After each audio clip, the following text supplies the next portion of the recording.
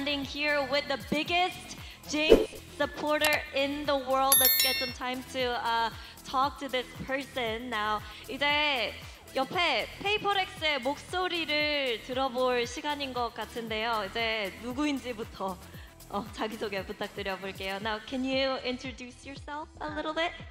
Hi everyone, uh, I'm Jing's mom. yeah. 징 선수의 어머니입니다.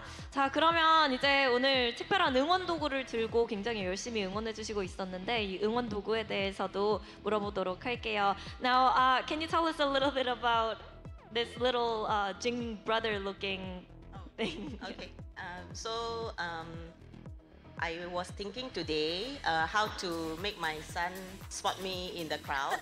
so I decided to uh, have his picture and his jersey so that I can wave at him.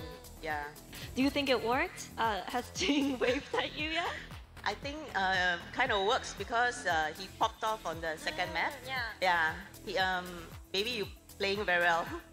So uh, I know you were very focused on the match, and uh, your eyes were on Jing, and I saw how uh, hot and cold you were uh, every time they dropped around or won around. So uh, what's it like to watch your son perform in such a huge stage in such an intense moment?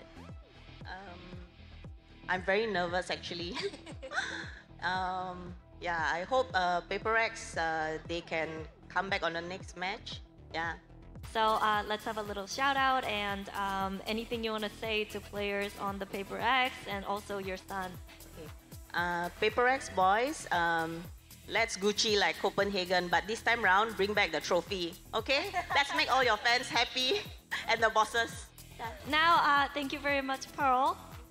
And Thank good you. luck to Paper Rex. Yeah. hmm And uh, that was the interview with Pearl Jing's mom, and we're actually gonna head over to the desk to talk about how Paper Rex can beat DRX on Lotus.